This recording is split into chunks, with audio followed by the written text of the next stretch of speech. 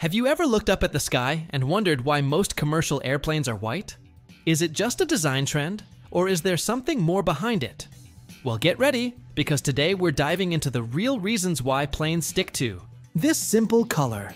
And let me tell you, it's way more interesting than you might think. Think about it.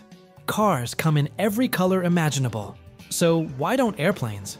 Wouldn't it make sense for airlines to use bright, eye-catching colors to stand out? Well, as it turns out, the choice to paint airplanes white isn't random. It's all about science, safety, saving money, and even helping the environment. White reflects sunlight much better than darker colors. That might not sound like a big deal at first, but imagine a plane sitting under the scorching sun for hours at an airport. If it were painted black or dark blue, it would absorb a ton of heat, making the cabin way hotter and possibly affecting sensitive equipment inside. By keeping planes white, they stay cooler and require less energy to regulate the temperature inside. Painting a plane isn't just about looks, it actually adds weight. A full paint job can add up to 500 kilograms or around 1100 pounds, which might not sound like much for a massive airplane, but every extra kilogram means more fuel consumption. And more fuel means higher costs for airlines. Plus, white is much easier to maintain. If a plane needs a touch up, it's much simpler to match white paint than a custom color.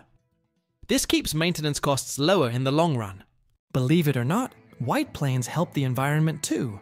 Since they don't absorb as much heat, they use less energy to cool the cabin, and because they weigh less without extra layers of paint, they burn less fuel. This means fewer carbon emissions. Who knew a simple color choice could make such a difference? But before we continue, take a moment to like and subscribe to the channel. It's completely free and helps me out a lot.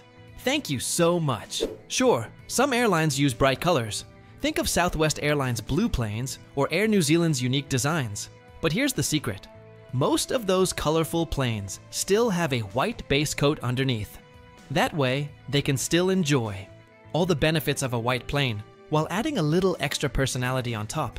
So, next time you see a white airplane in the sky, you'll know there's a whole lot of science, safety, and cost saving reasons behind that color choice. It's not just about looks, it's about making planes more efficient, durable, and even environmentally friendly. Did you already know any of these facts? Let me know in the comments. And if you enjoyed this, don't forget to like and subscribe for more fun aviation facts.